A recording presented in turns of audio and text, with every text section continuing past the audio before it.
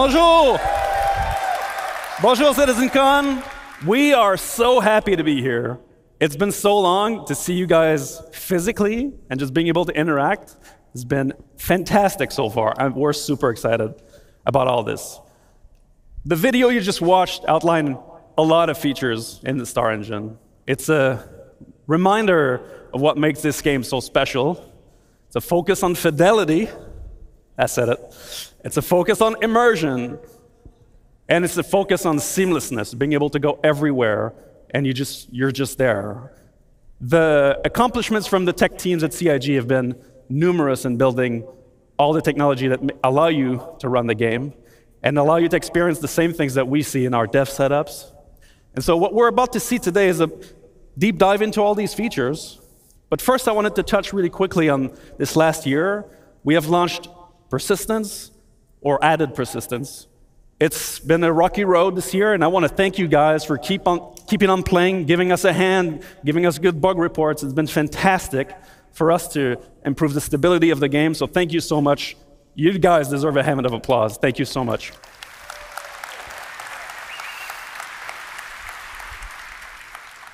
I just want to touch on one bit, which is that all the people you will see in the next couple tech panels are really the best of their crafts in the world.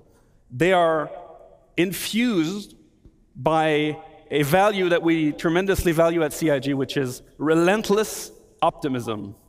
That this game can be made, that this vision can be achieved. And so, without further ado, but first, I got one more thing to say.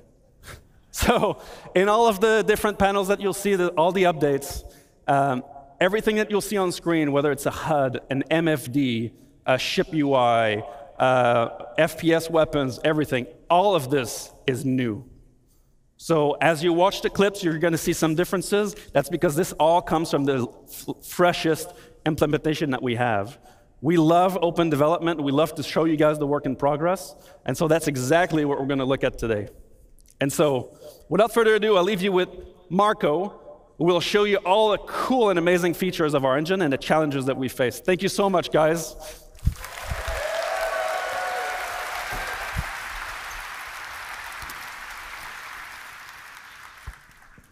Thanks, Benoit. Hello, I am Marco Corbetta, VP of Technology, and we're going to talk about Star Engine today.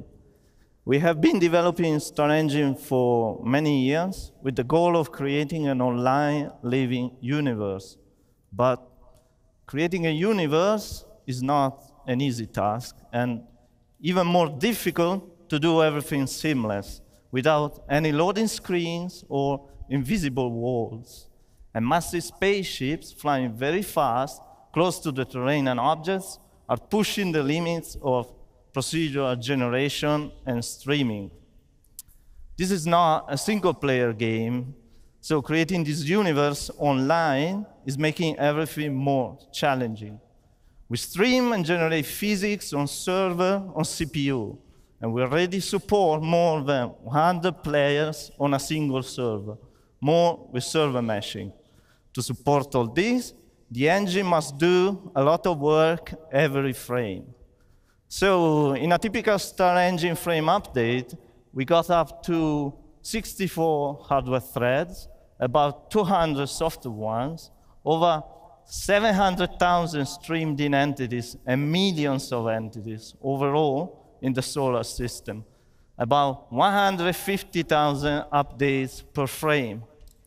We have over 200 vehicles, spaceships, and ground ones, over 2 million physical objects, over 100,000 objects generated per frame when flying over the terrain. We have many unique locations, streaming on demand in a seamless, gigantic space. Also, we are supporting many new features that we are going to showcase today. I'm going to start in introducing the new and improved Clouds and Fog, worked on by Carsten Wenzel in the R&D team. The first new feature is the light shafts. They are volumetric shadows from clouds cast into the atmosphere. They are truly volumetric and 3D, fully integrated. They are not just a post effect, as it is usually done in games. With this, the atmosphere from an overcast sky gets darker, and this is important for planets and locations with bad weather. Another component is the new ground fog. It follows the terrain up to a specified elevation for different locations. It is also fully integrated into the atmosphere. It receives volumetric shadows from clouds and terrain. It reduces the light scatter into the view ray. And in this video, we are showing all the features combined together. In addition, we made many improvements to cloud shaping to allow for more variation and details. The shape noise blending, vertical variation, has been improved a lot.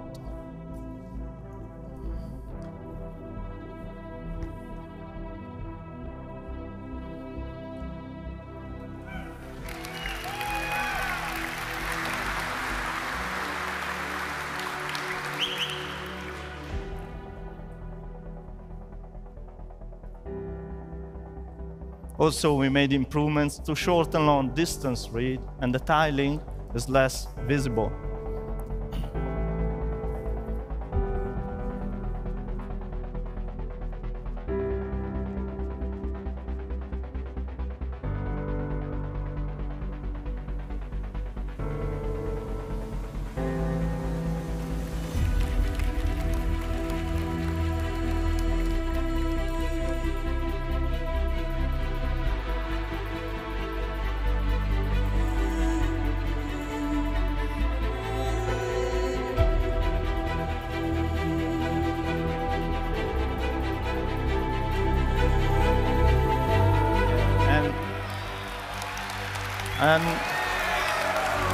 Best of all, best of all, we're going to include all these new features and improvements in the next 3.22 release.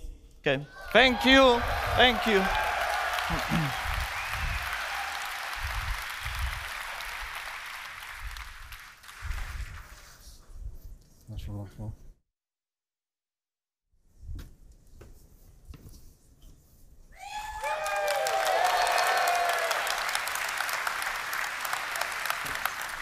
Hi, everyone. Uh, so I'm Mike Snowdon. I'm the Director of Visual Effects. And I'm Ali Brown, I'm the Director of Graphics and Procedural Tech. Thank you very much. Really happy to be here, really excited to show you. Uh, we're going to be showing Dynamic Fire in Star Engine.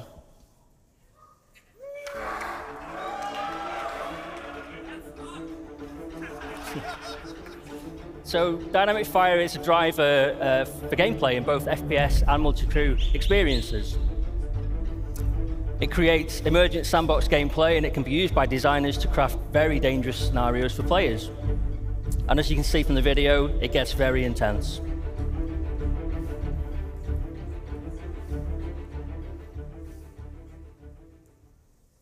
Okay, so how do fires start in Star Engine? Well, there needs to be a source of ignition, and there are multiple ways in which it can occur. For example, weapon impacts or misfires, explosions or damaged items, and the player needs to be alert to their surroundings with fire an ever-present threat. If a fire does break out, you're going to see it dynamically propagate through the area, uh, causing damage to environment and player. And at this point, the player needs to limit the damage, of course, by extinguishing the fire uh, in any way that they can.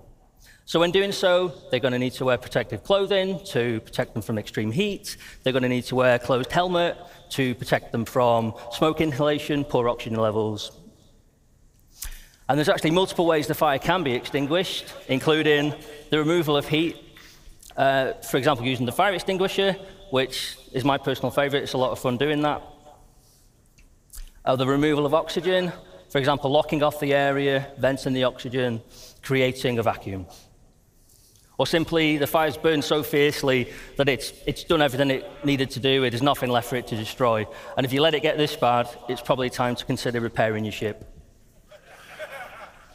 Okay, so how do we achieve this from the technical perspective? The first thing the artists and designers do is they mark up their scene to tell us what physical properties uh, each surface is made from, whether it's wood or metal. But not only on the surface, we have to de- describe what is behind the surface. You might see a metal panel on your spaceship, but has it got cladding or wiring behind it? It's important we know all this so we know how flammable it is. Then after this, we have to define all the physical properties that go with these surfaces. So, for example, what the masses, the energy density, combustion temperature, air fuel ratio. And we use all these physical properties and we sum them up in each voxel, which is a one by one meter cube. And then once we have these voxels, this forms the basis of our simulation. Uh, so then as we, first thing we do is we look for sources of ignition and then we're. So here's our debug mode that shows us what's going on in the simulation and is what we use to track it. And you can see these squares enlarging to show us where the fire is spreading. For each of these voxels, we're tracking the fire, the temperature, fuel remaining, the amount of smoke, and the fire is propagating via convection and radiation, which are both accurately simulated. And it's consuming the gases and producing the knock-on products as well as it goes. And because we're using a proper simulation, like Mike mentioned, when you vent a room, not only are you removing the oxygen and putting the fire out, but if the temperature remains the same, if oxygen is reintroduced, the fire will reignite and it will continue burning, just like it would in real life.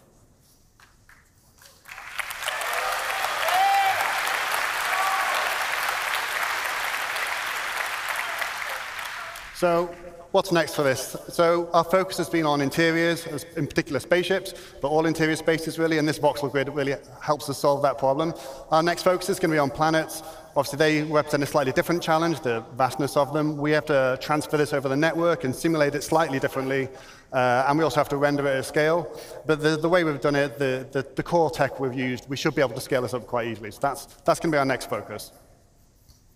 Okay, so how do we create realistic dynamic fire visuals in Star Engine? Well, we start with the simulation, as just described by Ali, and this gives us the data we need to drive the visuals. Then we bring in the burn shader. So this can be applied to static environments, and we have a lightweight version of the shader for entities, which is kind of based on the, um, the dirt shader and wear. Then we've got the glow, which is an animated surface decal shader for static environments. This is where we get, start to bring in some nice motion. And then we bring in the GPU particles, which are spawning from voxels and in screen space. Obviously, these are doing a lot of the work visually. Then we bring in the lights. These are spawned for clusters of voxels as opposed to per voxel as an optimization, a cluster being a representation of voxels close to each other. And then we bring in the fog. So this is height laid volumetric fog. The smoke fills the room and it goes up to the ceiling before filling the rest. And we're simulating that. So to finish, we're going to take a look at all of that put together in the game.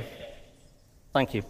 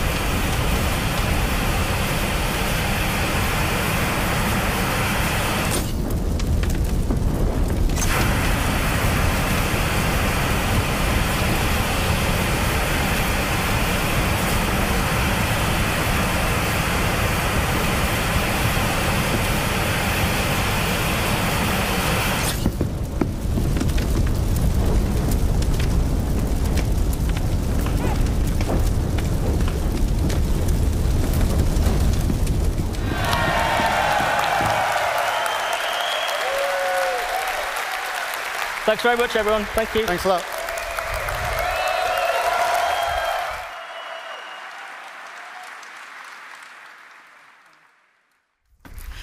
Hello, everyone. I'm Will Hain. I'm here to talk about water in Star Engine. So, water is a huge part of both of our games, Star Citizen, Squadron 42, and we wanted to give it a major upgrade we were going to set three ideas that we wanted to impart on our water. We want it to look as good as possible, obviously. We want it to look realistic. We want it to be beautiful. We want it to be in motion constantly. It should always be moving and always be reacting to everything around it, whether that be players or objects or vehicles. And we wanted this to work on the whole scales of all of Star Citizen, all the way down from footprints in puddles to enormous ships crashing into the ocean. I'm going to talk about our updates to the water rendering first, and then we'll move on to that other stuff I discussed. So, first of all, the water shaders, particularly the ocean and the river ones, were in dire need of a major upgrade. They were currently using a technique called deferred shading, which is really fast and fantastic for opaque objects, but does not translate well for transparent ones, which of course water is. So the first step that we made was to transition to forward shading. That allowed us to introduce more physically based techniques, such as proper lighting, reflection, and refraction. It in, allowed us to integrate the atmosphere properly into our water lighting setup. And it also meant that we could get more fun, more fun techniques, such as uh, wave crest backlight scattering, as adding better foam rendering, which includes halftone blending, surf-surface haze, and much more detailed bubbles on the individual bits of foam. I've got some examples of that here. In this particular screenshot, you can see the icebergs in the near frame. You can see we're refracting the iceberg underneath. It's correctly refracted. In the mid frame, you can see that the iceberg is reflected back onto the water. That is now accurate. We weren't doing that properly before. Here you can see our accurate water lighting from this really beautiful screenshot of the Gladius over the water. I love this one.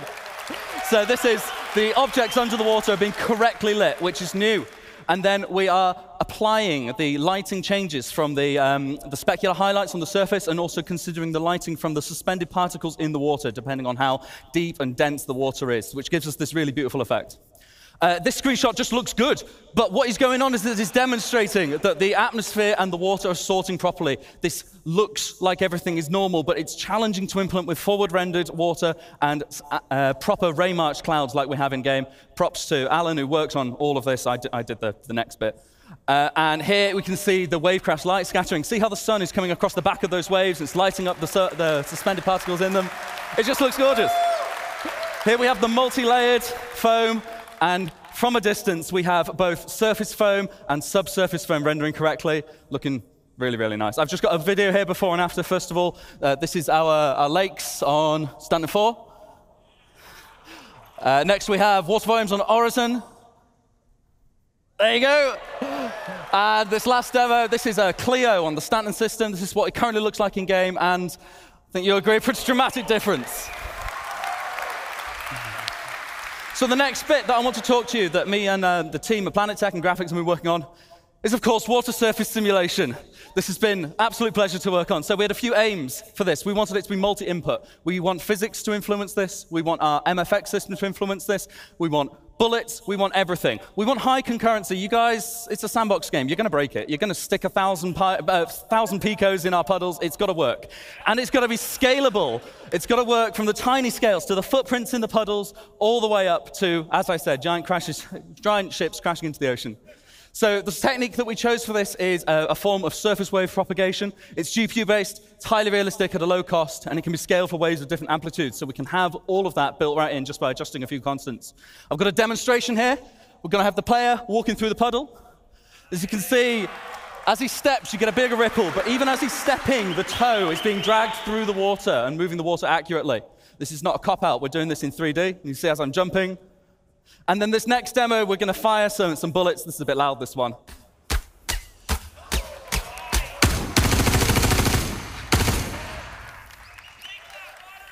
Right, the one more thing that we had to look at. So it's all well and good, this working on a puddle, but Star Citizen is not made of puddles. It's made of oceanic planets. It's made of everything. We needed to make this multi-scale. So we, yeah, we wanted the water near and far, not just in a square around the camera. We wanted lots and lots at once the solution we picked was a multi-region water sim. Now, this was really, really tricky to get right, but I really think we have now. Which basically means that we can dynamically allocate all of the simulation regions depending on what is colliding where and what resolution we need at what parts of the screen. We can optimize this very heavily to make sure that you get what you want to see at, at the right time. We still need to get that information onto the water, though, and that's a bit trickier.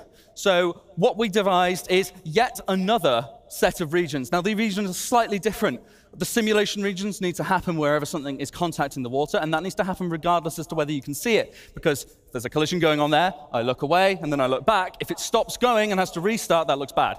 Whereas the water, we only need to know the total result when it's actually in view. So we have these new regions which cover all water in view. And the beauty of this is that we can use this for multi-input and multi-output systems. Anything can influence our water, whether it be the simulation, whether it be weather, whether it be VFX.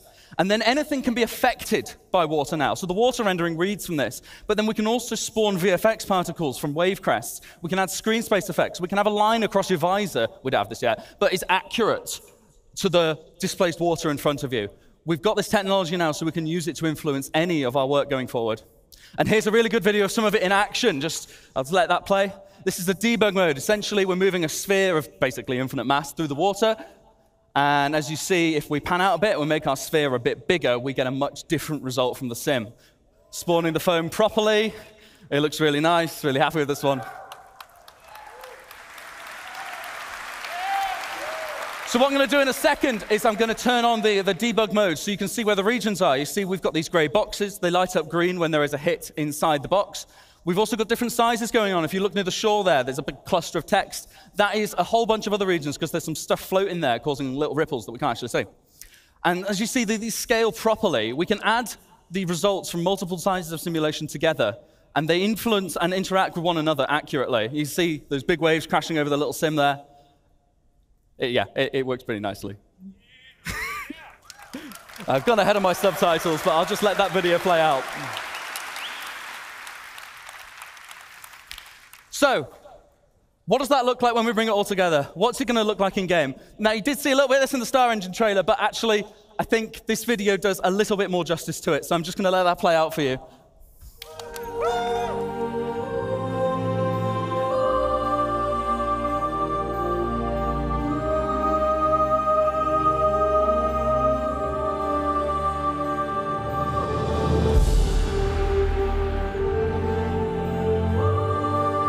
Forward in a second, you're going to see the wake start to happen behind us there.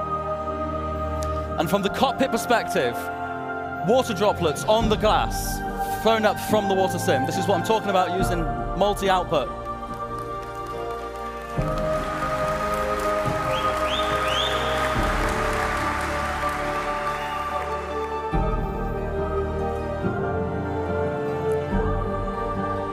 And that's us. Thank you so much, CitCon. Handing back over to Ali.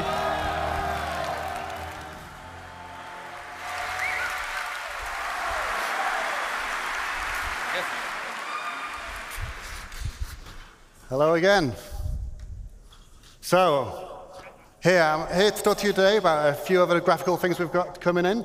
I'm really proud of the work we've done on the fire and the water. They both look amazing features. I'm going to talk to you about a few, a few smaller features and a few longer-term R&D features we're coming in on the visual side. This first one, something we wanted for cinematics and telling a story, but also to tie into our active feature system, which is to get the face to tell a little bit more story on our characters.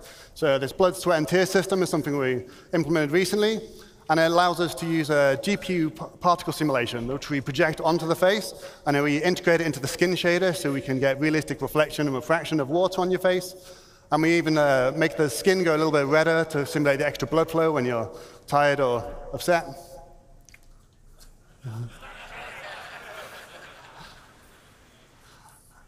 So none of this is a pre-canned animation. It's completely dynamic. We have complete control over everything. We can keyframe every single tear if we want to. And we can even simulate blood, like here.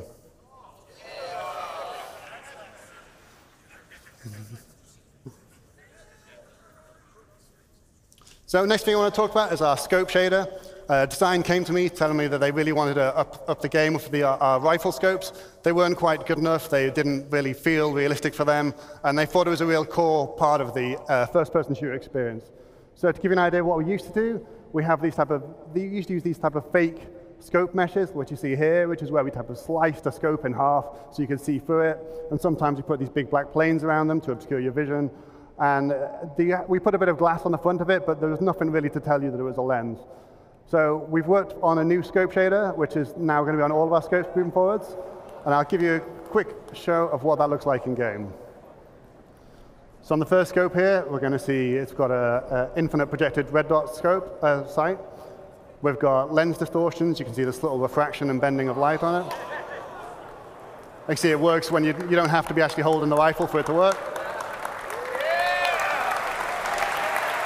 We've got a correct emulation of eye relief on the scope. So we have the blur, distortions, uh, chromatic aberration. And then we've also got support for digital displays like this one, which has light amplification and has support for EMPs. Uh, you know, if you get an EMP, you're going to have the, the, the is going to get distorted. So we're quite proud of this. We think it's going to give a much better, more realistic uh, simulation of the scopes in the game. And I think I've kind of mentioned before, but it's, it's not a fake effect. It, it applies to our scopes no matter where they are. You don't have to be using the scope. You could look down somebody else's scope and see the same thing. It's fully integrated into it, so it's really quite proud of that.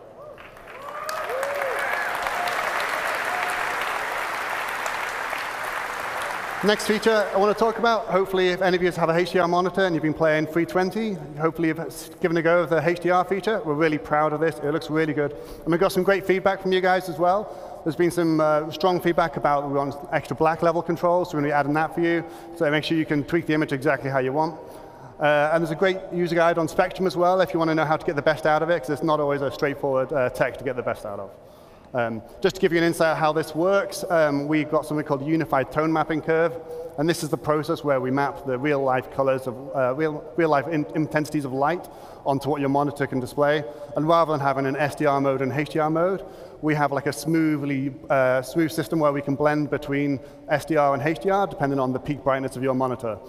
We also pay a lot of attention to make sure we preserve the colors and the hues to keep an accurate image for the artist, and especially for skin tones. We don't want them turning red or white or doing anything bizarre. Um, just one thing to mention, we've got some content adjustments that will be ongoing. We've got a lot of content in Star Citizen. It takes a little bit of time to make sure we balance everything so it doesn't look too dim or look like a supernova. Next thing I want to mention, temporal upscaling. This has been something that's been asked for for a long time. And we're proud to finally get it into your hands. We've got three different techniques we're going to be implementing. Uh, we've got CIGs. Uh, we've got our own Temporal Super Resolution solution called TSR. We've got AMD's Fidelity FX Super Resolution 2, and we've got NVIDIA's DLSS 2 as well. Um, they each have different characteristics and hardware requirements and trade-offs, so we, is important to get you all free so you could have a choice of what you want to look. On the left here, I've just got a zoom in from one of our outposts. That's uh, no anti-aliasing for people that really love to see jagged edges. Uh, the center one is our TSA, which is what you've got in the current release today. And on the right-hand side is TSR without doing upscaling. And this is going to be replacing the TSA solution. And this gives us better quality and more stable image and hopefully much less ghosting. We can use our TSR to do upscaling. Here's the example of how it looks at each resolution. And similar results from AMD's FSR. And some numbers here, which I'm sure you can pour over later, but basically we can get about two times GPU performance if you're interested in using the upscaling technique. Uh, obviously, if you're CPU limited, you might not get quite them numbers. It depends on your machine. Uh, we also intend to look at frame generation techniques like FSR-free and DLSS-free, but these are going to come a bit later. We're going to focus on GPU performance, getting that up first. Frame generation isn't really applicable unless you've got a really good performance first. Some other quick updates. We've got the screen space shadows as added to Alpha 320. Uh, gives us some extra detail in our shadows uh, across characters, and it's particularly on planets, it helps a lot. And we've also got a new texture and mesh uh, streaming engine that helps us get as much possible detail as we can onto your VRAM on your GPU. And it type of does something we call load balancing. It will scale dynamically for your GPU to make sure we can get the absolute best possible results. Uh, we've also got some more streaming uh, improvements coming in the next release. Just to give you a quick show of what the screen space shadows mean, here we've got a planet with no shadows, I think it's Microtech. Uh, the shadow maps, you see these, the normal shadow maps that fill in half the scene, but then when we get the screen space shadows, you look in the, the top of the screen or in the, uh, the flowers, they type of fill in the detail for the rest. They really help type of bed the scene in and stop these things looking at floating.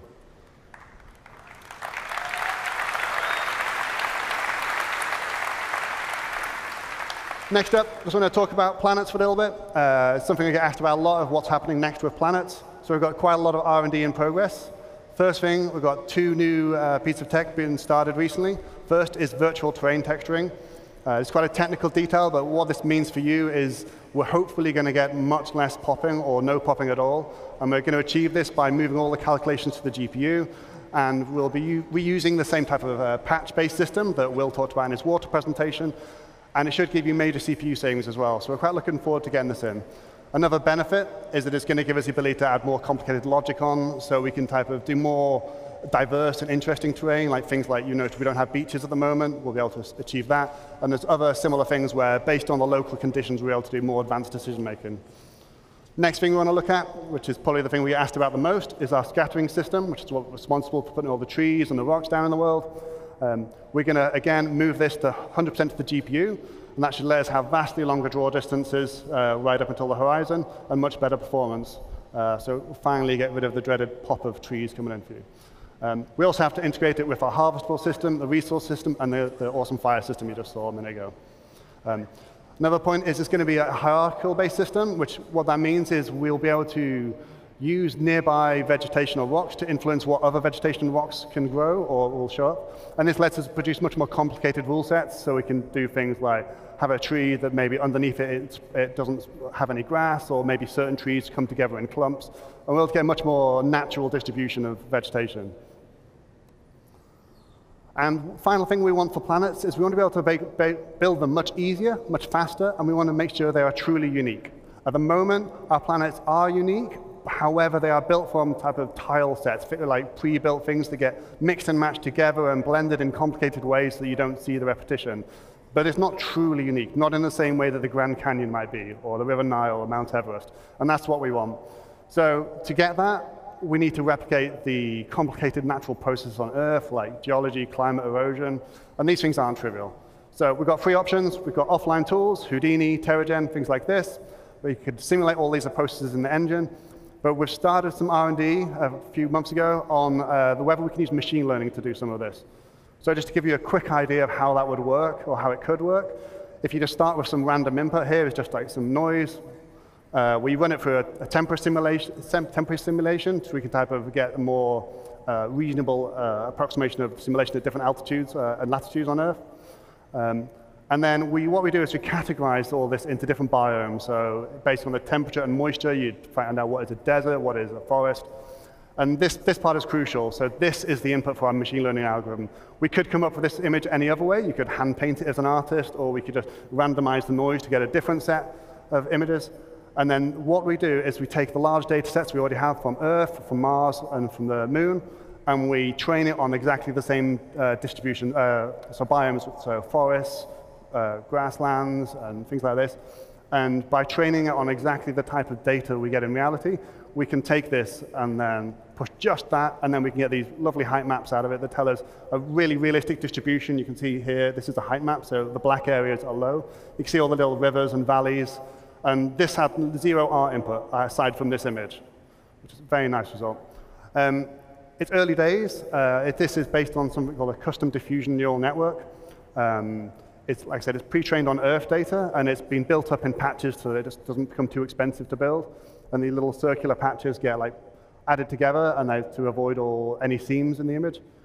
And just to help you visualize it, I've just put some colorization on it to show you where like snow and beaches might be and just wrapped it around a planet to give you a better sense so it doesn't look quite so abstract. Yeah, but this is very early days, this stuff, but we're hopeful this will be helping the future of how we build planets quickly and efficiently. Um, thank you.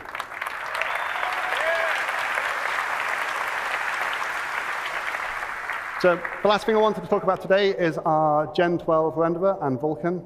Um, this has been ongoing for quite some time, taking a lot longer than we would have liked, but we're finally getting to the end of this, this long journey. Um, for those who don't know, the reason this was being implemented is largely for performance. We're going to be getting at least two times better performance on our CPU submission for rendering, which is often the bottleneck for the game, so that will directly, hopefully, translate to performance improvements. We also get better control of memory with advanced GPU features like resizable bar. And it also opens the door for some things like ray tracing and new mesh shaders. Uh, so we've got a video of a Vulkan running, live captured. So uh, I can't remember this, which ship is this, but it's um, yeah, it's all working fine now. There's a couple of hitches and performance, so we can't quite release it yet, but we're looking into them, uh, the last few performance issues and stability issues, and hopefully we'll be releasing it soon. So, like I said, the one thing, or one of the things we really were interested in by implementing Vulkan was to get support for new hardware features, and the, one of the big ones was ray tracing. So with that, I want to hand you over to Ben, who's going to talk about some of our lighting research.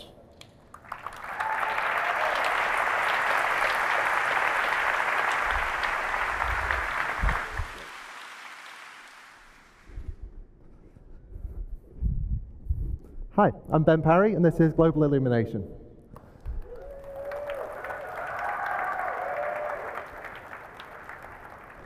So, as Ali just said, um, using, moving over to the Vulkan renderer, and now that that's fully online, we've got access to hardware ray tracing on the GPUs that have support for it. And the best thing to do with hardware ray tracing would be to create a new updated global illumination system for us to use. Now I'm here to give you a fairly early preview of the work that we've done so far, uh, but first off I'm just going to simplify some things and ask what is global illumination?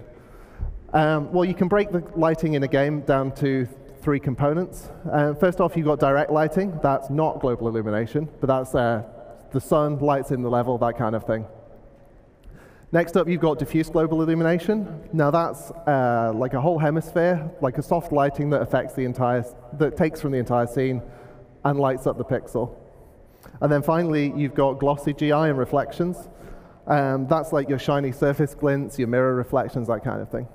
And now all of those combine together to form one glorious penguin. Now,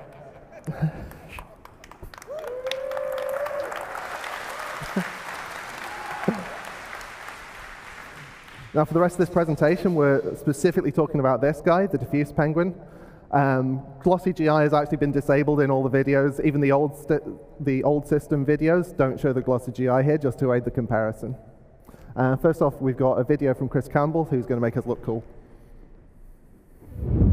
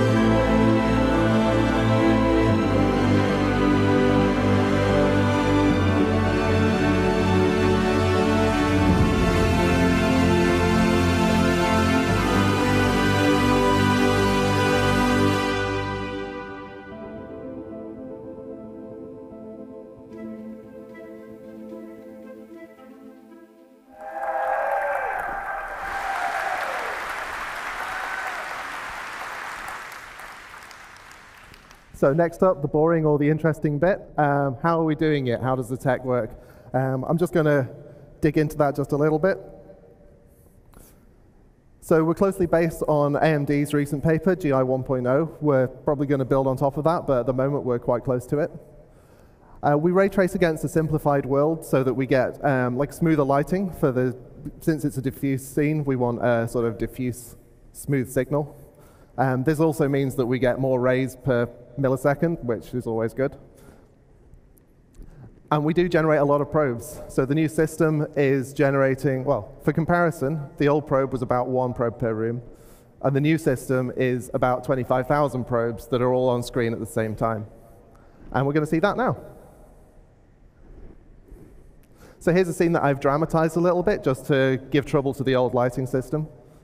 And this is what the ray tracing sees. So it's a simplified single color per object kind of thing. But then we've also got this uh, kind of a 3D dictionary of average light values so that the light is kind of shared over things in a similar area.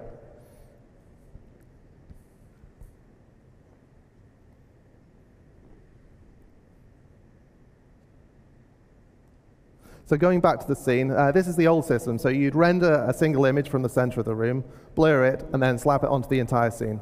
Now, as you can see, like the middle of the scene is about the right lighting, but everything else has got the middle of the scene's lighting. Like these red lights at the sides, they're basically drowned out by the table bounce that somehow made it across the room to them.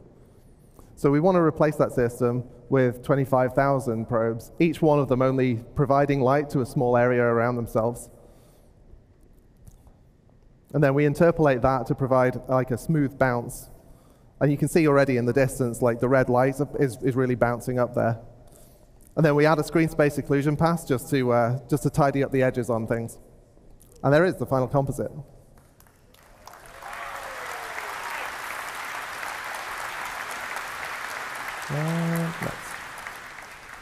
So, what else does it do? Well, because it's, re it's real-time generation, it means we can do a real-time bounce, and we can do that with quite small areas. You can get like a really vibrant bounce that picks up off small objects in the scene. Ooh. And that means that the art team can really lean into like strong local variation on color. As again, we will see. So we'll do a side-by-side -side comparison on this one. As you can already see, like the spotlight's really like throwing stuff into the scene. This is just one light in the room. And we could actually, we did have live updating, as you can see in the old system, but it's, it was designed for like time of day changes rather than this continuous smooth view. And finally, it means that we can do things like glowing surfaces can just illuminate the world without having to add special lights to, to fake it.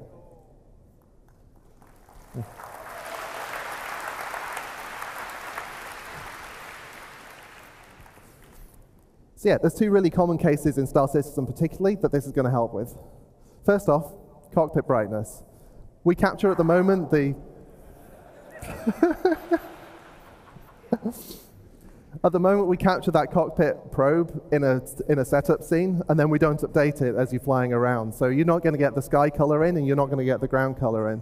And then we've got the opposite problem that I don't have a picture for this, but cargo bays sometimes they're light, you land somewhere dark, you open up the doors, and now you've just got this weird little light room with, uh, with nothing spilling out of it. So again, let's have a video. Oh yeah, so this is the old system. The sun's working, but you can see there's no sky, there's no ground lighting. By the way, I've turned off a lot of the cockpit lights so that you can see this. And then in the new one, you can already see the skylight is kind of helping a little, but then as you turn over, you get all the ground lighting.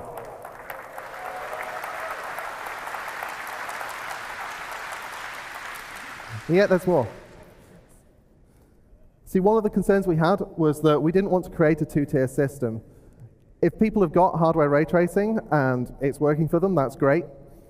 But you can't really have the art team optimizing Wasim for one type of lighting and then having to optimize it for another type of lighting and having to trade off decisions about the two of them. So what we've been experimenting with is trying to create a new low bar that's higher than the old low bar, as well as creating a new high bar. And the idea for this is basically to take that single room um, environment probe system that we have been using, update it so that we can do live relighting on that, and then to sort of slot that in where the ray tracing would be while still keeping all of the other stuff, like you know, the, the 25,000 probes and all that kind of stuff, can look at the old system and we kind of Frankenstein them together. So I'll show you what we've got so far for this. So this is just the old one and the new one so that you can see the problems. Like just, it's, it's overly lit, let's be honest.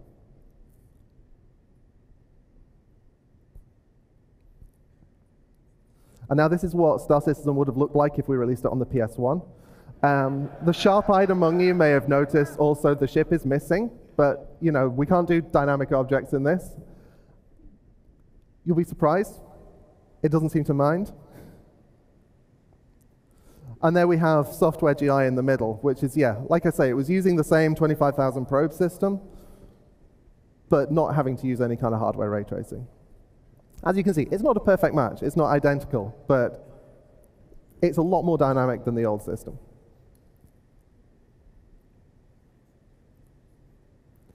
And finally, hmm?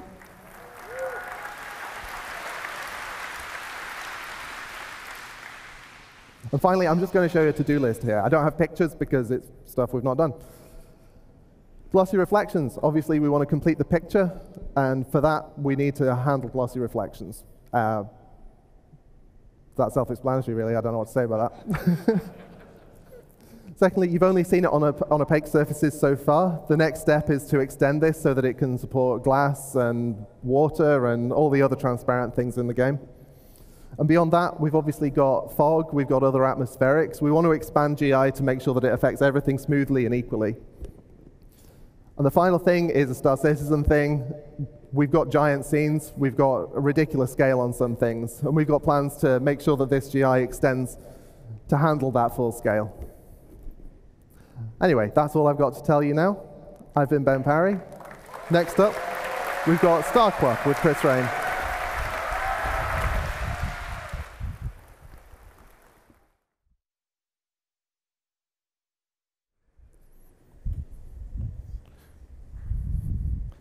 Hello, everyone. I, hi. I am Chris Raine, and I would like to show you not one, not two, but three new physics of our physics engine. And I would like to start off by introducing Star Cloth, our new character cloth simulation with a short video.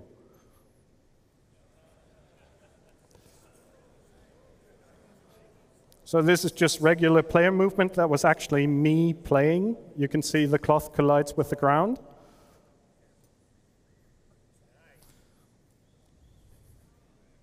You can see multiple layers of cloth that do not interpenetrate.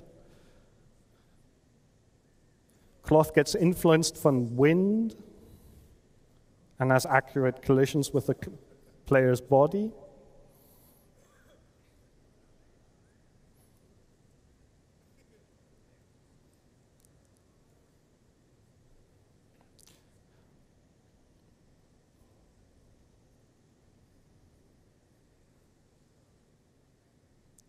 Now have support for collisions from dynamic objects.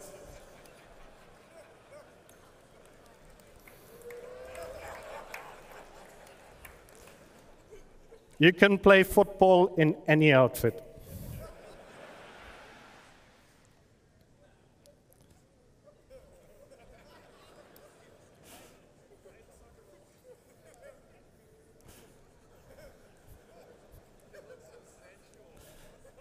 Starcloth supports the full range of motion a human can make, from fast movement to extreme poses.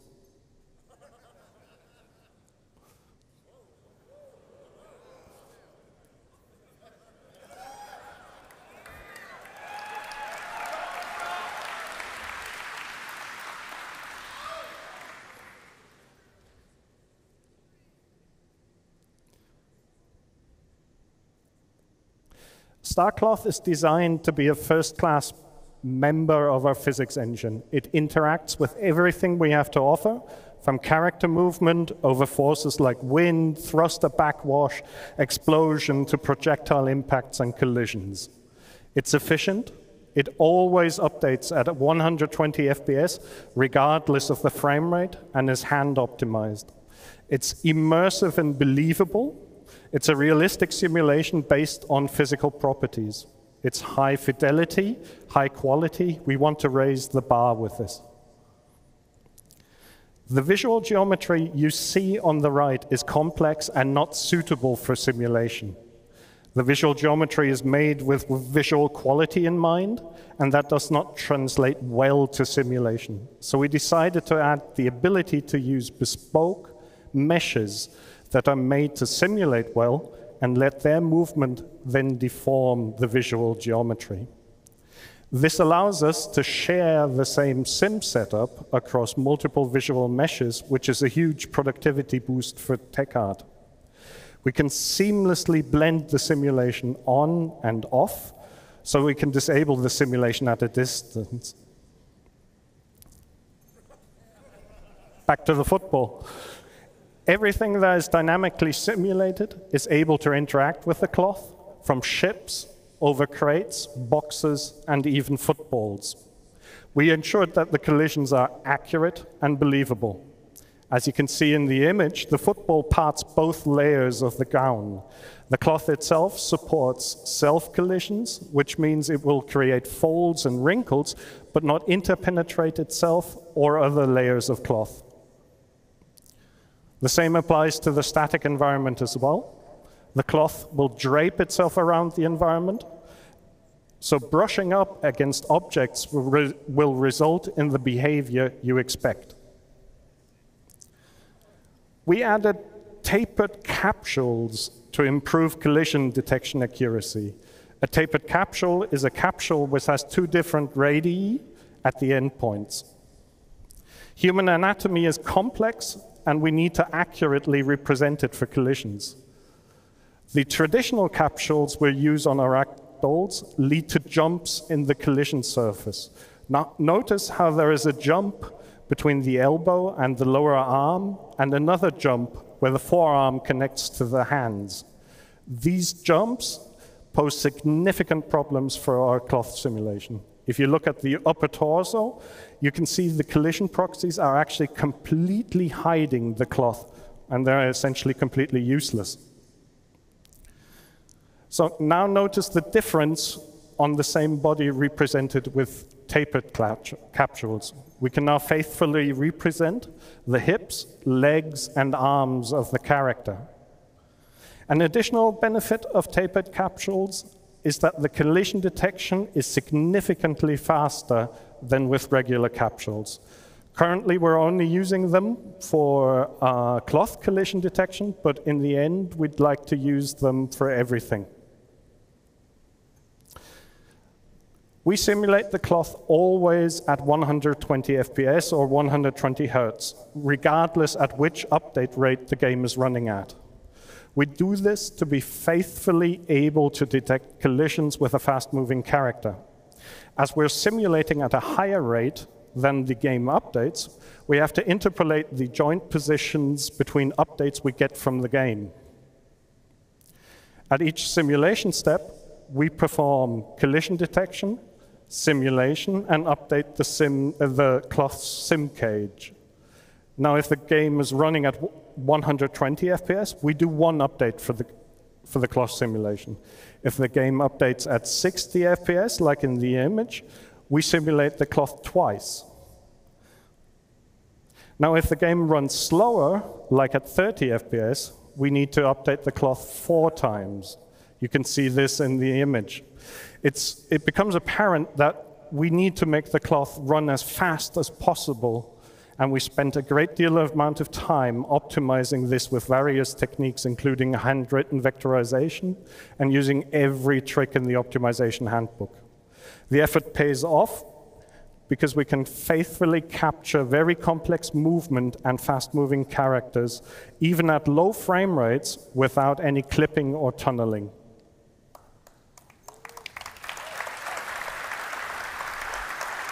Thank you.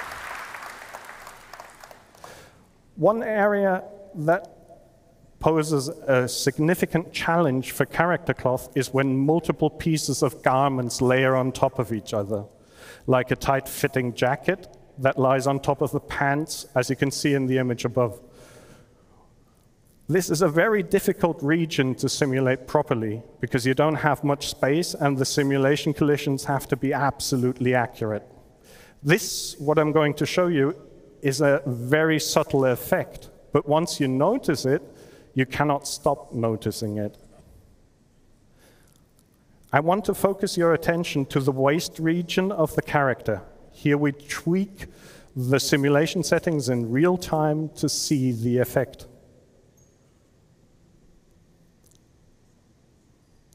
Here you see a, a rendering with a high fidelity cloth disabled. And here the same scene with it enabled.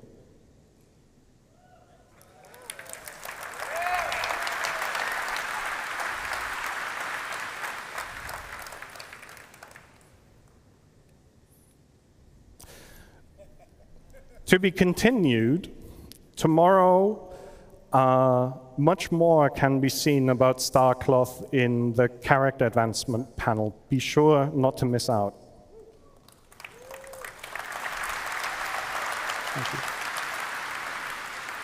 So, next up, star hair. Currently, we have the ability to simulate the effect of moving hair with joints that are essentially simulated pendulums. The hair is skinned to these joints, and when the, these joints move due to the pendulum simulation, the hair moves with it. This leads to a fast and believable movement of hair. However, the quality is directly co correlated to the quality of the skinning, which is tedious for tech art to achieve for some complex hairstyles. Further, apart from gravity, the pendulum joints do not react to external forces, like collisions or wind or explosions. So we asked ourselves, can we somehow improve upon this? And I'd like to show you some early prototype results of our research. This is an image of the raw geometry you saw in the previous image. You can see many strands of hair, and we thought to ourselves, maybe we can simulate all of these strands. This is a single strand isolated from the rest.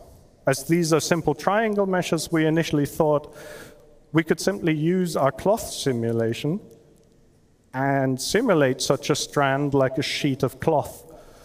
That didn't work out at all. It turns out hair does not behave like clothing.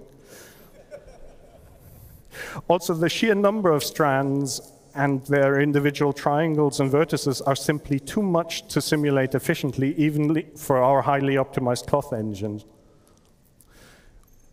We realized then that our artists are actually using splines to create these strands.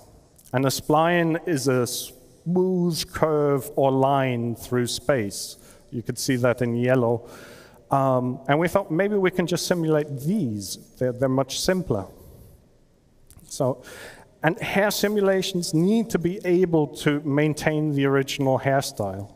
You cannot have the hair simulation change the visual appearance of a character. One of the reasons why using the cloth simulation for hair did not work out as, at all is that the cloth only simulates vertices and they have no concept of orientation. So you do not know how the next segment has bent in relation to your current segment. In other words, you cannot easily simulate twist with vertices alone. For splines, however, that is very easy to do. So all of this together allows us to simulate the strands according to the theory of Cosserat rods. A Cosserat rod allows you to model the behavior of slender one-dimensional rods, exactly what our splines are, and simulate bend, twist, stretch, and shear, exactly what we need. Hair also needs exact collision detection to not intersect with the head, the ears, the cheeks, the jaw region. The video I'm about to show you is some very early prototype footage of how such a simulation actually looks like.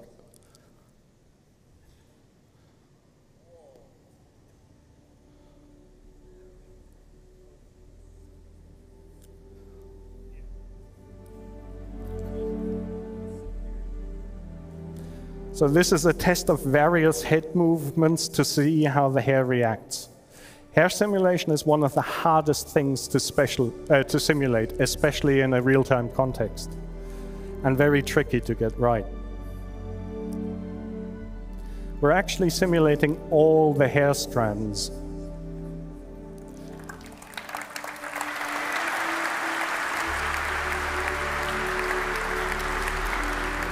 So we will have characters being able to run their hands through their hair and have the hair react realistically.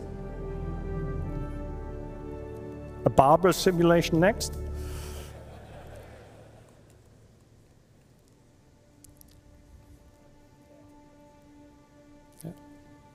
Actually, being a bald man, this was a very touching moment for me when I made this video. Thank you. Thank you.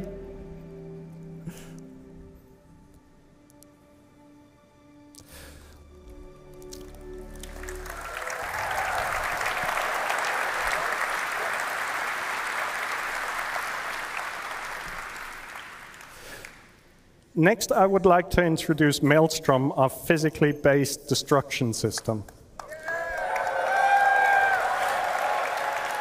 And I would like to do that with a video that I believe speaks for itself.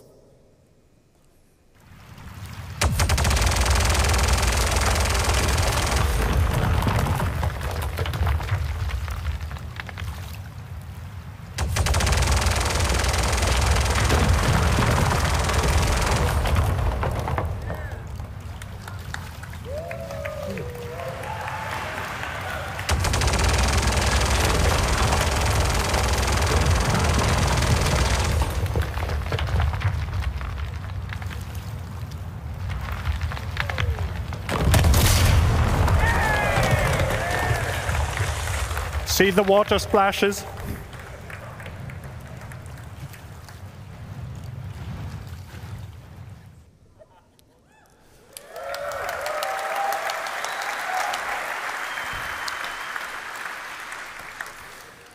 We want players' intuitive prediction of the effect a weapon or a collision has to actually happen in the engine or in the game. So we decided to move away from hit point pools or other abstract models to simulate damage, but rather have damage be calculated from a physical model and from the physical material properties of each entity. If something breaks off due to its structural integrity decreasing below a certain threshold, Maelstrom allows it to break off in a realistic fashion. If you shoot off a wing, the missiles and weapons on that wing should still remain attached. If the broken off part still has power, electric items should still function. This means Maelstrom was needed to be designed to work with a hierarchical setup to begin with from the hierarchical representation of the geometry we want to break off to the same hierarchy on a higher level item, for items like power plants, lights, weapon systems, and so on. Maelstrom is persistence and networking ready. We designed it from the ground up to work with high latency situations, to persist and replicate easily.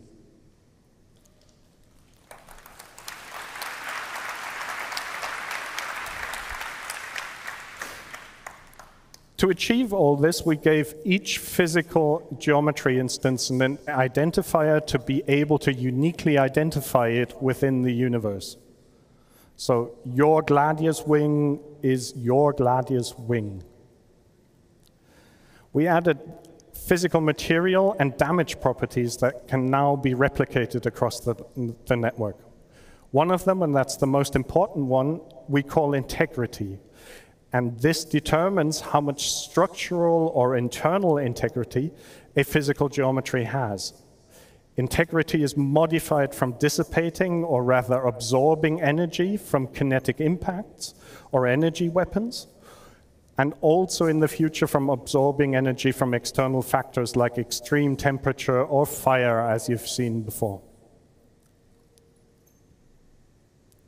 We also track which physical part or geometry the, uh, belongs to which visual geometry and which high level entity. So if the structural or inter internal integrity collapses, we know which visual geometry is affected and which item might be affected as well. So a power plant will cease to emit power or implode, explode. A weapon will cease to fire, and so on. To make things break apart, we create what we call breakable clusters. A breakable cluster is a set of physical geometry, the visual geometry, and the entities on top that can break off.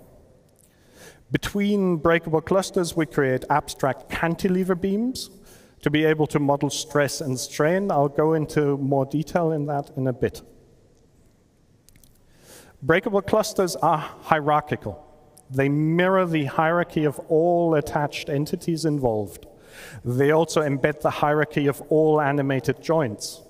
And they also embed the hierarchy of all physical geometries.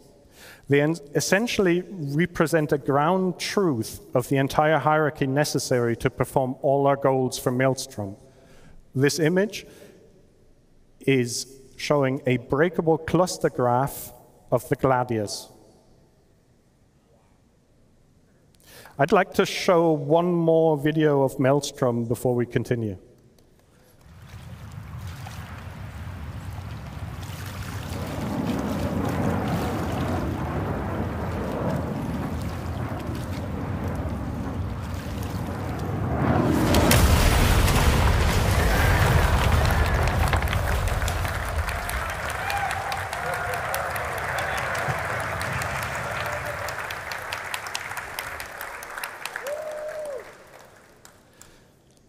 We needed to find a good way to easily and efficiently determine when a breakable cluster breaks.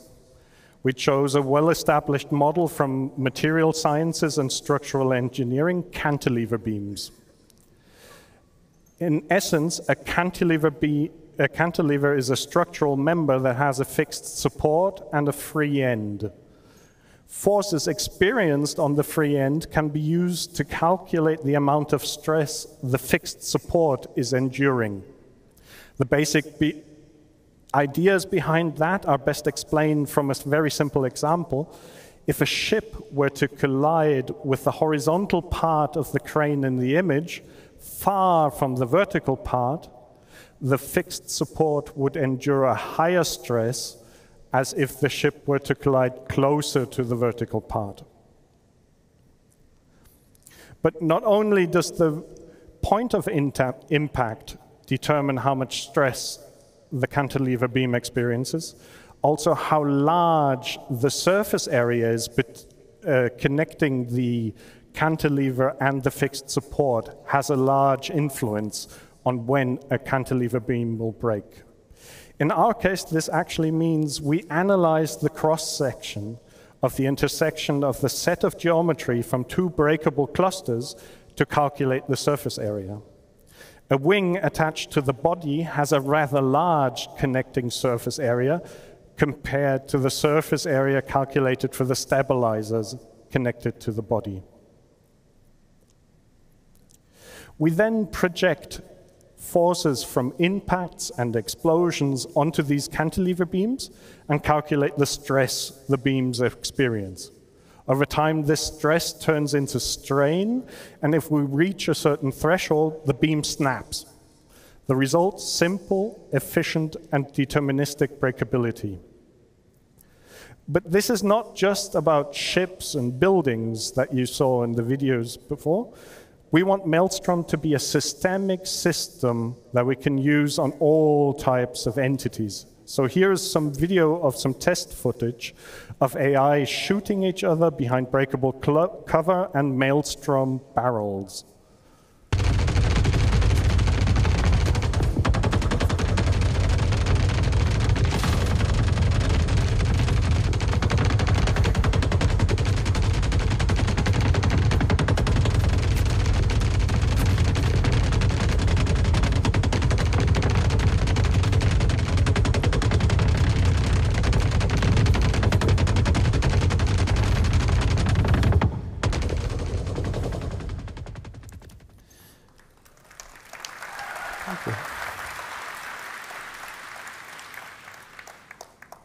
Physical material properties influence damage and breaking and have a direct influence to how things break and fracture. To achieve this, we added various properties, density, yield strength, resilience, thickness, toughness, Young's modulus. And this is more or less what I wanted to talk about Maelstrom, but I don't want to leave without showing one more video of what carnage Maelstrom can, can create.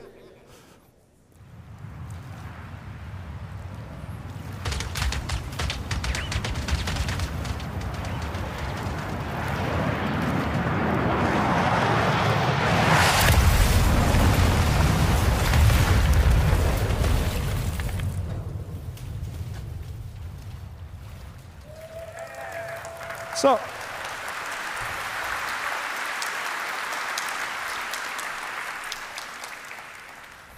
So thank you very much. And with that, I'd like to hand over to Benoit.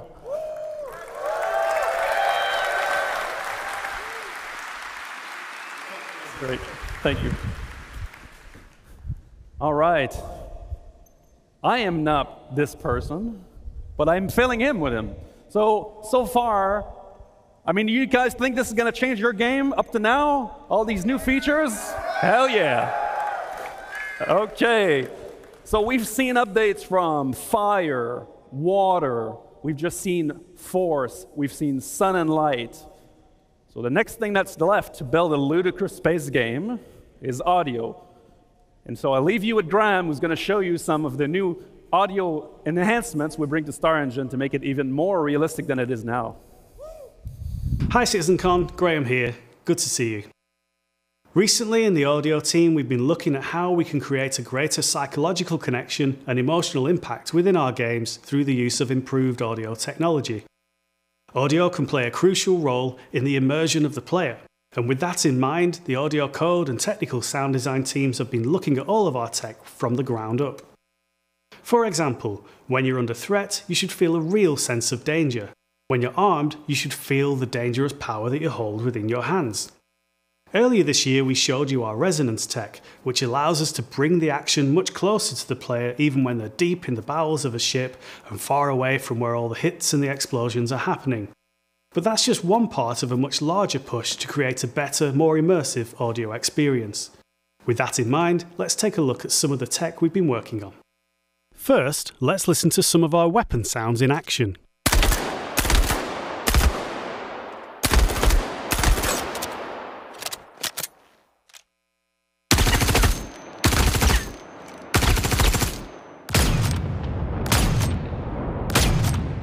They're a great simulation, but we wanted to take them further and express the sound pressure, the forces being exerted. Our new in house audio effects, particularly the multiband compressor, tuned by our sound designers, give us this result.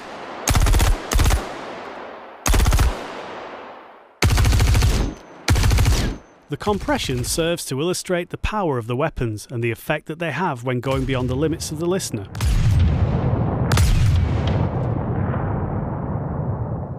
Let's show you the same audio effects applied to the ship weapons, taking us from this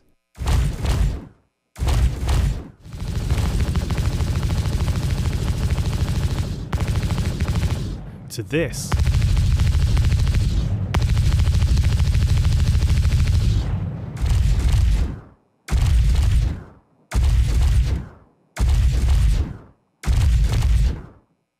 But it's not just about feeling powerful. Changes in audio can create a sense of danger, of being out on your own and under threat. Here's an example of ship combat.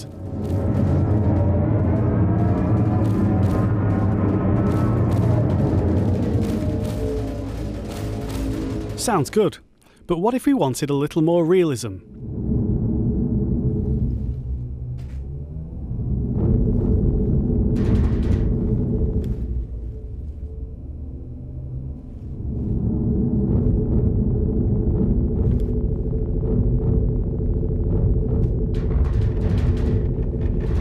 The audio propagation tech that we've been rolling out makes it easier to change the soundscape in real time, and a nice use of that technology is to provide a more realistic option.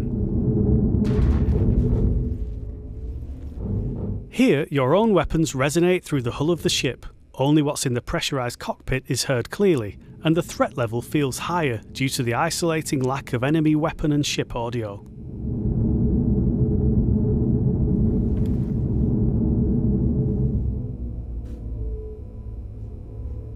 Making these changes creates space in the audio, both spectrally and temporally, making impacts seem bigger, more damaging, more of a problem for the player. This realistic mode isn't limited to the flight experience, it's applied appropriately to the game as a whole. Here's an FPS battle in a depressurized area.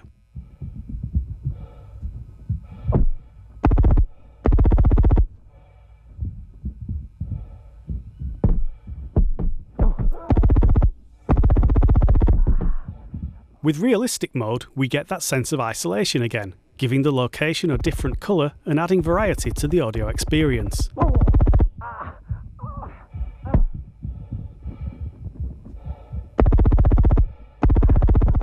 Player breathing and foley are exaggerated, and other sounds are transmitted through physical contact.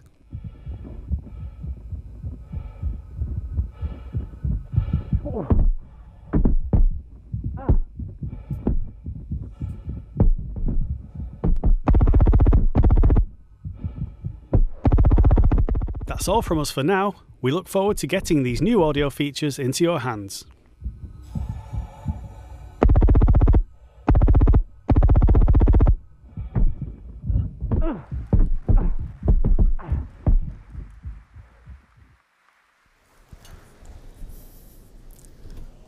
All right. Hello, everyone. So, Persistent entity streaming, replication layer, and beyond. Uh, my name is Paul Reindell. I'm Director for Online Technology. And I'm going to show you a little bit insight in our technology for persistent entity streaming and the replication layer. I thought about what's the best way to show you something about that tech, and I thought about putting some technical drawings on the, on the slides or maybe show video like we did two years ago. But really, the best way to show you how persistent entity streaming works is to give you a live demonstration, and that's what I'm going to do. All right.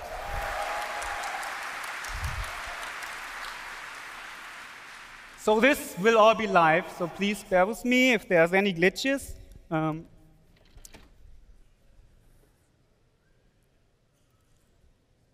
let's keep this rolling. Uh, I think I'm supposed to press the button. No, it's already switched. Um, before we start, a little bit, um, I just give you a little bit an overview what you see here. Um, let me set up everything.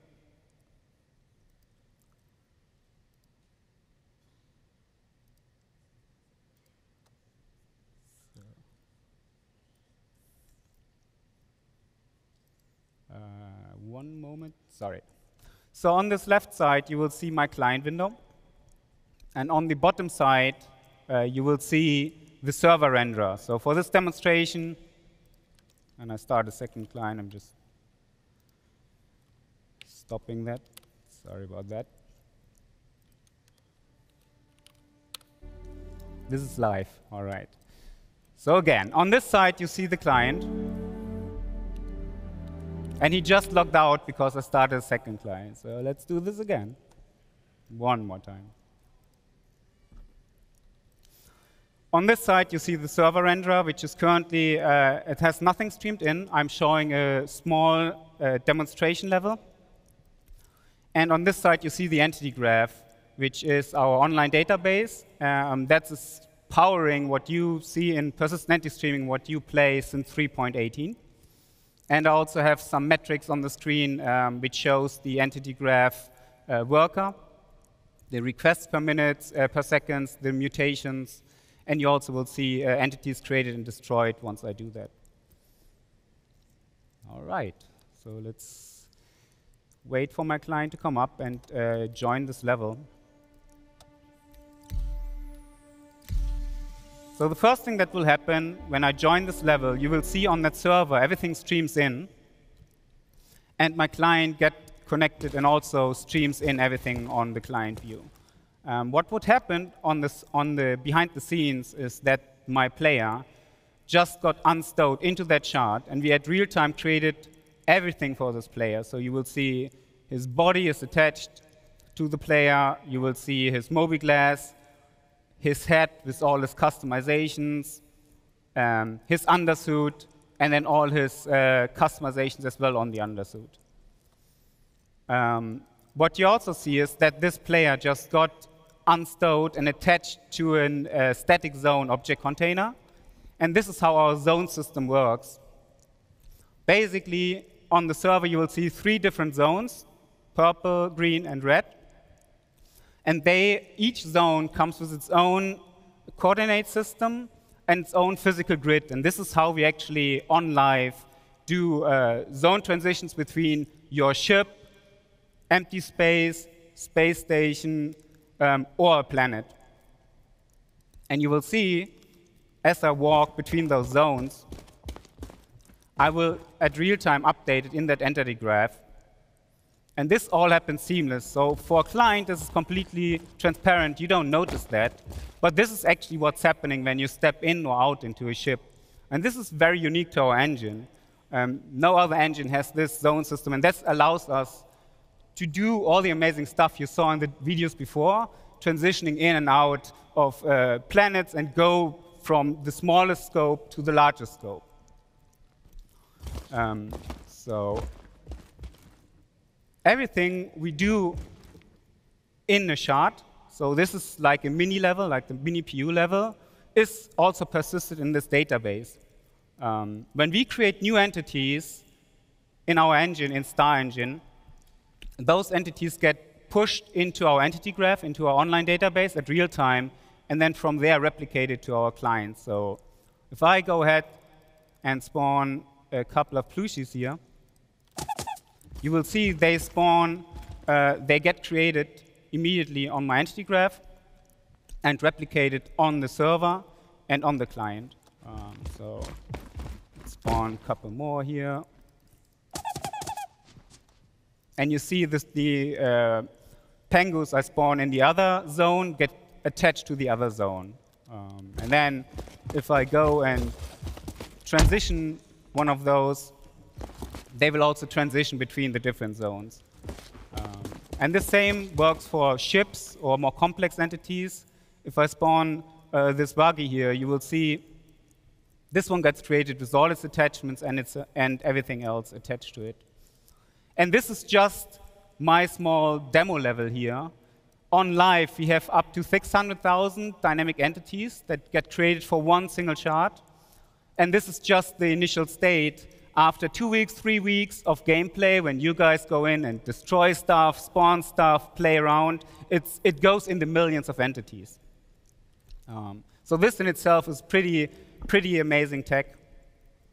Um, the next time I want to talk about is our streaming system. Um, most engines do stream on, stream on uh, texture or uh, geometry. We actually stream entities, and we do stream persistent entities.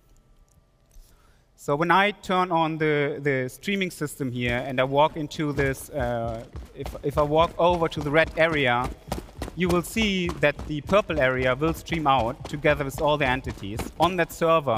So it does not only stream out on my client, it actually streams out on that server. And when I come back in the green zone, that purple zone streams back in with all the entities in there with their full persistent state. Um, so now I have uh, a second player join. Benoit is going to join me. So Ben, if you want to join, okay, I think we see him over there. Hey Ben. Sorry. Nice. All right, I'm going to spawn a couple more penguins here.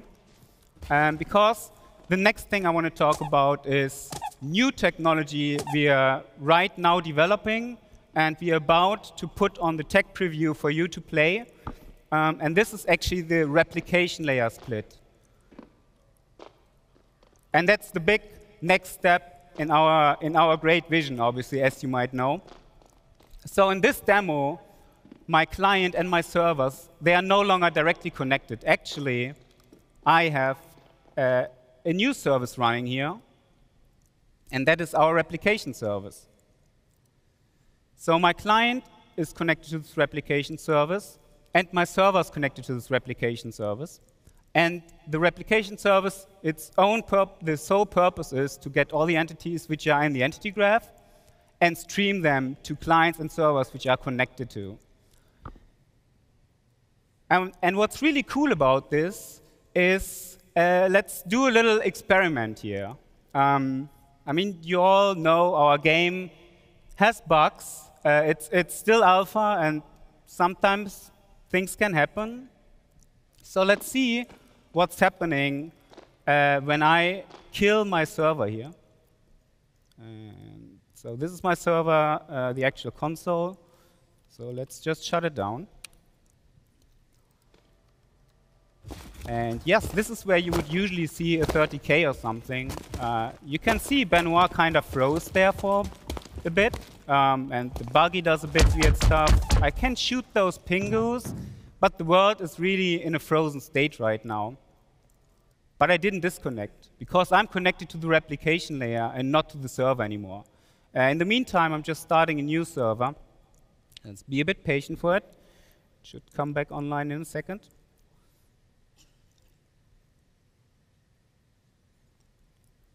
And as you can see, now that the server came back, it restored the state.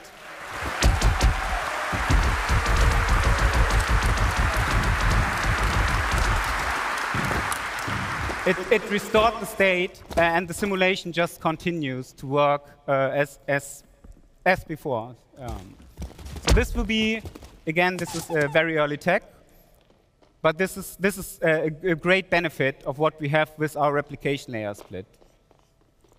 But there's one more thing.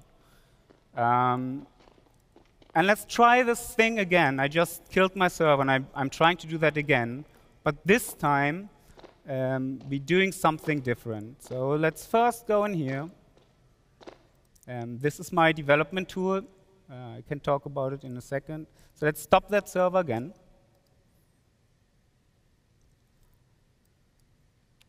And restart.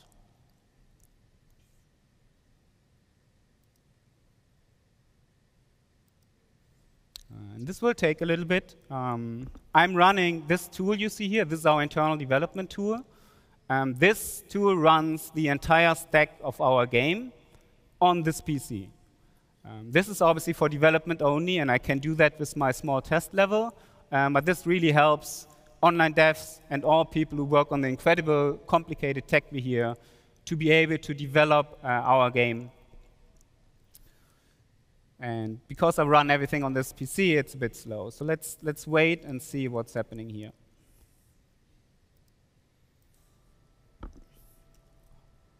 All right. Simulation continues. I can see Ben moving again. Hey, Ben. However, what just happened?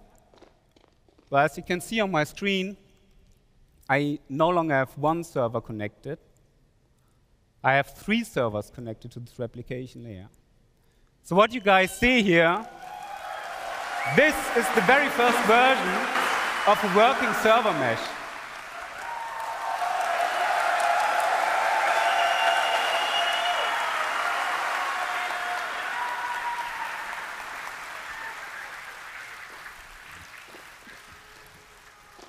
All right. So now I'm going to explain a little bit how this magic works, because it is truly magic.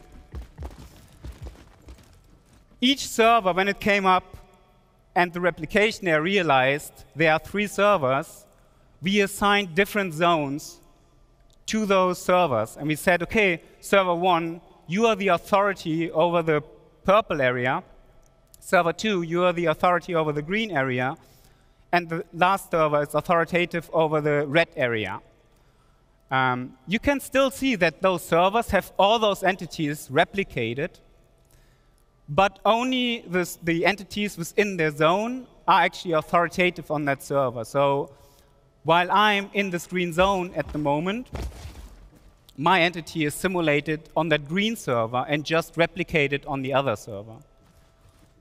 Um, and now, as I transition between those zones, you will see that on that green server, I just lost authority and on that purple server, I just gained authority. Um, and because my entity was, my player was replicated on both servers, this completely uh, works seamless. Um, and again, let's do that a couple of times. You see on my client here, I don't notice anything of that. This, is, this all happens behind the scene. And this uh, doesn't work only on me. Let's turn on the, uh, the zone colors and the object, the uh, authority assignment, on the client as well. Um, you can see that even entities, as they transition into the other zone, seamlessly transition to that zone.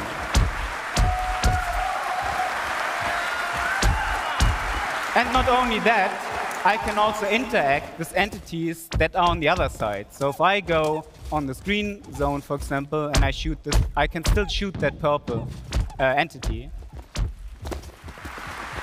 And I can also just go ahead and destroy that buggy which sits on that other zone. There you go. Always fun to blow stuff up, right? All right. Um, so there's more to this. Um, the first thing I will do, let's spawn a fresh buggy. I just destroyed my old one. Um, when I go into this buggy, I will become part of the aggregate. And that means that now my buggy and myself will transition authority together. And this is how we make sure that my player, while he's driving this buggy, is always authoritative on the same server. So you can see as I drive around with this buggy between the zones, I will switch between the different servers. All right. Um, but there's more to this. So remember when I turned on the streaming earlier? The same streaming mechanics work here as well. Like, obviously, in this example right now, you can see all those servers, they have all those entities replicated. And it's a little bit wasteful because you have three servers, all need to replicate all those entities. Um, and that's where streaming come into play. I can turn on streaming here, and you will see that suddenly my purple server no longer has the red area streamed in, and the red server no longer has the purple area streamed in. Um, so let's see what's happened when I drive my, my buggy uh, backwards into that red uh, into the red zone. What happens on that purple server? Um, and I just disappear. So right now, on this server, there's only Benoit replicated. And Benoit, if you come, come to me over in the red area, you will see that now on this server, there's no client at all. And in theory, we could now completely stream out the entire area on that server, or stream in a new area.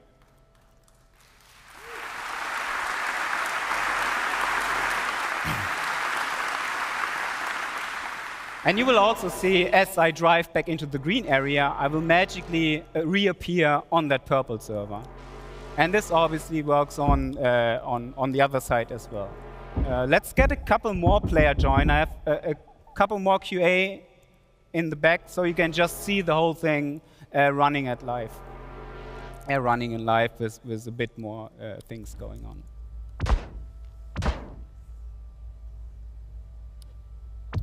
Get out of this buggy.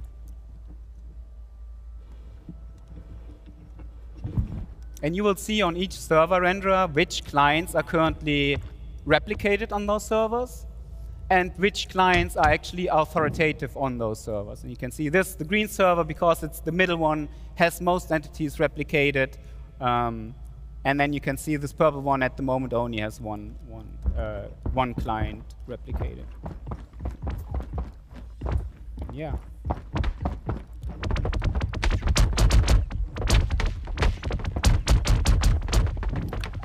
So yes, this is pretty much it.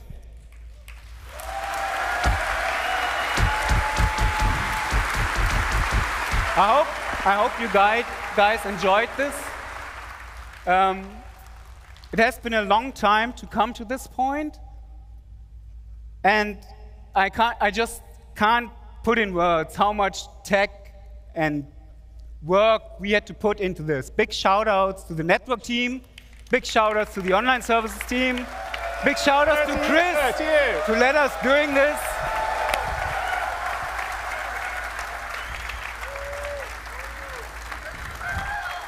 It's been a really long journey to get to this point.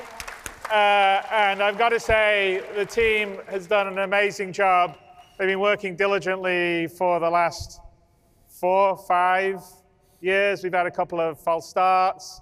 We finally have an incredible, I mean, the way the replication layer works and how we can spin up servers and down and keep the state constant, even if a server goes down, is, I think, a genius design. And the first time I saw this, about three weeks ago, working fully, I cried. It's like giving birth. We did it! Uh, and we wouldn't have been able to do this and work on this kind of tech without all your support. That's right. 100%. Now, you guys and your trust. allowing us to take the time to do it right, to really build it. So thank you. Thank you, guys. So much for everyone, and thank you everyone at CIG that's really worked hard to deliver all this amazing stuff that will be either in your hands now or in your hands very soon. And this is just the beginning of CitizenCon. We got a lot more stuff to show you. Yeah. That's what we need for this right. MMO, guys. That's what we need. Great demo, by the way.